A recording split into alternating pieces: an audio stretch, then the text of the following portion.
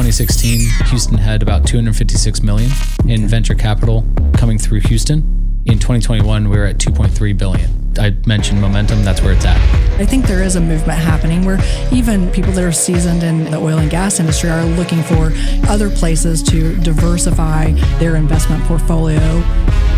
Digital transformation is upon us. The question is, are you ready?